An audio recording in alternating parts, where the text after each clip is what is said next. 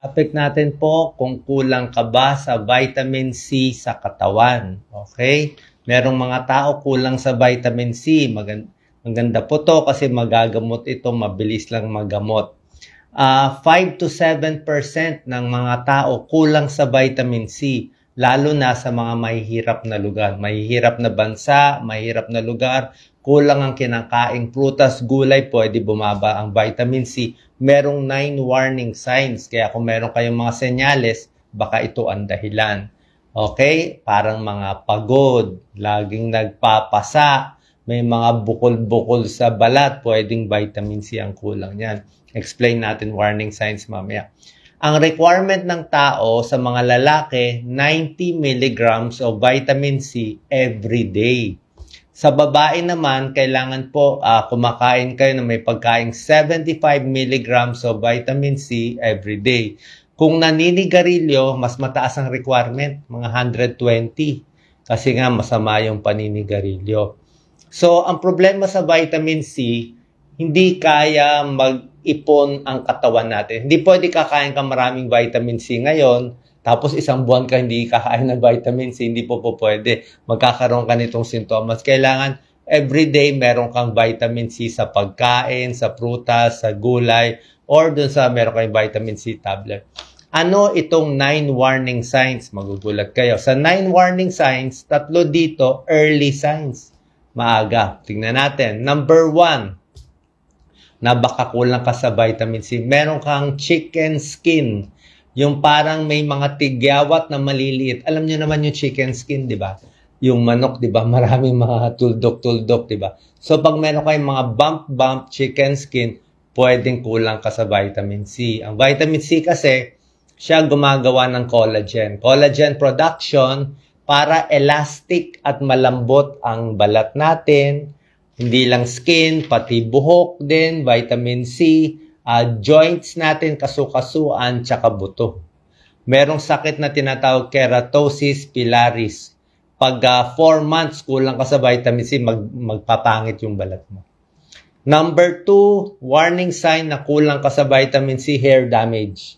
Yung buhok mo nalalagas, mabilis malagas. Tsaka medyo kakaiba yung pagkalagas ng buhok mo. Magiging corkscrew shaped ang buhok, yung paikot-ikot yung kulot, di ba minsan may buhok tayong kulot?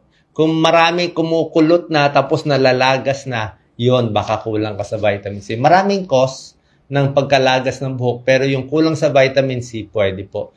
Minsan mahirap makita itong mga parang kulot na buhok na nalalagas kasi nga po nalalagas eh, hindi mo ma makita. Pag nagamot ito, in one month, gaganda dapat ulit ang buhok mo. Number three, warning sign, yung mga fingernails nagiging spoon shaped. Parang nakaganyan, 'di ba? Dapat ang kuko natin ganyan, nakaganyan siya. Para siya nakalubog, spoon shaped. Tapos may mga pula-pula dito. Uh, splinter hemorrhage yun. So ang kuko, thin nails, brittle nails, mabilis mapingot at may mga dugo-dugo. So sign of uh, vitamin C deficiency. Number four, ito early sign. Ha? dry skin and damaged skin. Mabilis magpasa, konting tama lang, nagagasgas na, nasusugat na. Vitamin C kasi kailangan ng balat natin, yung epidermis. Yan ang outer layer ng skin natin. So pag nasira yung epidermis, mabilis masugat. Ang maganda po sa vitamin C, siya taga-protekta ng balat natin from oxidative damage. Anong, anong ibig sabihin? Di ba yung araw, masama ang araw sa pag sobrang araw, masama sa balat, di ba? Konting araw, maganda. Pero sa lakas ng sikat ng araw, pwede masira ang balat. So yung vitamin C, nakakatulong siya sa sun damage, damage ng araw, air pollution damage, nakakatulong siya, at smoking damage, smoke. Smoke, pollution, at araw na pro-protect yung skin natin para hindi kumulubot, hindi masira agad. Number five, ito problema pag kulang ka sa vitamin C, slow healing of wounds ayaw gumaling ang sugat. Pag may sugat kayo na ang tagal-tagal gumaling, ha? Kasi kailangan niya sa paghilom yung collagen production. Ito po yung problema, yung chronic leg ulcers. Uh, nakakatakot tong sakit. Uh, check nyo lagi paan nyo. Lalo tayo pag nagkakaedad tayo. Di ba yung paan natin, maraming varicose, nangingitim, Minsan puputok yung ugat, tapos nasusugat yan kung diabetic, uh, kulang sa vitamin. Ngayon, pag kulang ka sa vitamin C, mas mabilis masugat.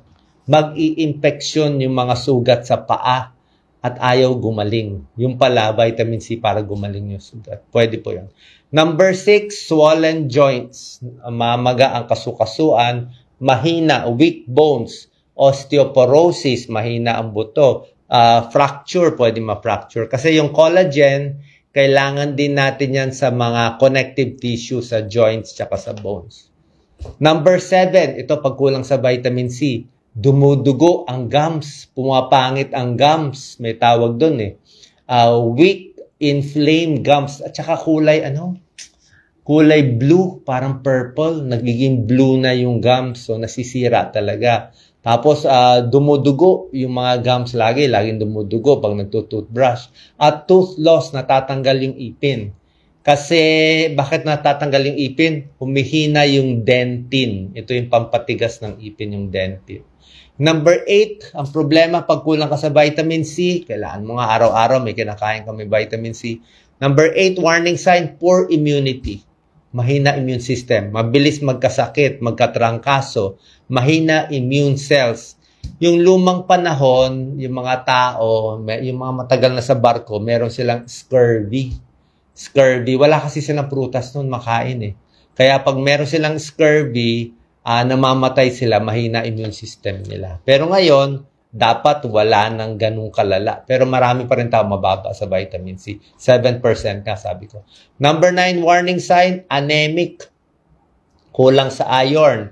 Laging pagod, laging fatigue. Bakit? Pagod, anemic, maputla, dry ang skin, naalalagas ang buhok. Kailangan kasi yung vitamin C para ma-absorb yung iron sa katawan. Palagay natin, kumain kayo ng maraming gulay, may iron. Maraming karne, may iron. Pero pag wala kang vitamin C, hindi niya ma-absorb. Kung may diferensya yung tiyan mo, o hindi kulang ka sa vitamin C, hindi ma-absorb yung iron. Diba? So, bagsak yung ano, uh, dami ng dugo mo. Hindi ma-absorb yung iron, kulang ka sa red blood cell. Tapos dugo pa ng dugo, 'di ba? Sabi ko, mabilis magpasa, dumudugo minsan dito sa kamay, sa gums, bagsak ulit ang dugo mo. Kaya anemic, kaya nangihina. So vitamin C very important. ano ang risk factors? Sino ang mga prone na bumagsak ang vitamin C? Una-una, uh, sabi nga sa mga mahihirap na lugar, yung talagang malnourished, pero basta poor diet lang eh. Let's say, Like sa atin, sa kababayan natin, puro kanin, puro ulam, puro tuyo. Eh, ang vitamin C mo, nakukuha mo sa prutas at gulay. Eh. So pag hindi ka kumain ng prutas at gulay, kahit konti everyday, pwede ka bumagsak sa vitamin C. Poor diet, alcoholic, lakas uminom ng alak, nasisira yung tiyan, kulang sa nutrisyon mental illness, uh, siguro yung mga may severe mental illness, hindi na marunong pumili ng healthy na pagkain. Smoker, naninigarilyo, prone bumagsak ang vitamin C.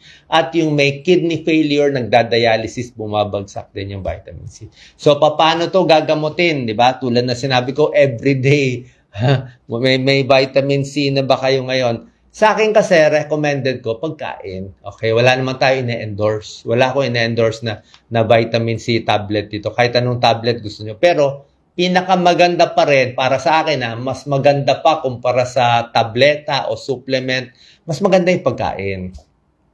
Kasi yung pagkain ginawa ng Diyos, hindi lang vitamin C yan eh. Let's say, kaya mo bumili ng orange, oh, mahalang orange, dalandan, uh, kalamansi, yung maaasim, suha, o pinya, o ano pa ba, o pinya, suha, lemon, o pwede rin. Lemon, o papaya, bayabas, okay? Lahat yan mataas sa vitamin C. Sa orange juice, uh, mga 3-4 cups, yan, makukuha mo na yung daily needs. Patatas, maraming vitamin C. Sa mga gulay, ang mataas sa vitamin C, broccoli. 1 cup of broccoli sapat na for the day red bell pepper. Yung bell pepper, yung, hindi, yung sweet bell pepper. Oo, mataas din sa vitamin C. Tapos sa gulay, ito po magandang tip. Bawal lutuin na lutong-luto. Mas luto yung gulay nawawala ang vitamin C. Gusto mo medyo half-cook yung gulay, crunchy pa. Medyo mahilaw-hilaw na half-cook lang para hindi mawala yung vitamin C ng gulay. So everyday magugulay kayo na may vitamin C or may prutas kayo everyday. Yun ang pinakamaganda. O, kaya na tip natin, daily ang kain ng vitamin C kasi nga hindi na-store. Ngayon, kung gusto mo dagdagan ng supplement, walang kaso. Lalo na kung matagal ka na mababa sa vitamin C. Ito lang po recommended. Ang recommended ng mga experts ay 500 milligrams lang per day or less. Kasi ang requirement mo 90 lang eh. Ako, ano iniinom kong vitamin C? Siguro, sa isang linggo, baka nakakatatlong beses lang ako mag uh, vitamin C tablet. Sa ibang araw, uminom naman ako. May suha ako, may pakwan ako, may pinya ako, o may kalaman, mahilig ako magkalamansi, di ba? So, nakukuha ko naman sa ibang bagay yung vitamin C ko. Ayoko dependent. Kasi, syempre, yung mga suha at dalandan, marami pang benefit yun. May fiber yun may phytonutrients, marami pa ibang benepisyo sa katawan. Eh, vitamin C tablet, tablet na lang. Ang sinasabi lang sa vitamin C tablet, 500 mg a day, pwede na. Huwag na tayo mag-excess sa 2,000 mg. May tao talagang ino-over. Sa, hindi po, pag nilampas mo ng 2,000 mg, limang tableta ng 500, eh pwede ka ma-side effect ay vitamin C, ascorbic acid, acidic yun, eh, sasakit yan mo. Magka-cramp, ka-cramps, pulikat sa tiyan, masusuka, magtatae. So, hindi rin maganda over. Diba? 90 lang ang kailangan mo, 90 milligram, eh, 500, sobra-sobra na eh. Huwag din natin i-over. Huwag din uh, masyadong OA. Doon lang sa tama. Tsaka hindi lang naman C, kailangan mo, kailangan pa vitamin B, vitamin A. Ma-overdose tayo niyan pag sosobrahan nyo. Anong mga test? Test mo complete blood count. Simple lang, CBC, dapat may ka-anemic. Pangalawa, yung iba, ina-x-ray yung mga buto. X-ray buto kamay, sa likod. Kasi baka osteoporosis na eh. Oo. Kulang ka sa calcium, vitamin D, vitamin C. May blood test din ng vitamin C level. Pero yung blood test naman ay hindi ganun ka-common. So, yun po. Ingat tayo sa mababang vitamin C. Alam ko mahal ang prutas at gulay. Pero everyday, makakain kayo. Anong mura? Siguro dalandan, pongkam, may mga mura, kalamansi, konting lemon, orange, mahal, guava, bayabas, papaya, mataas din sa vitamin C. Basta kailangan may konti kang gulay, saka may konti kang prutas everyday para at least hindi tayo magkulang dito sa mga sakit. Share po natin, ingat tayo sa vitamin C deficiency. Salamat po. Salamat po.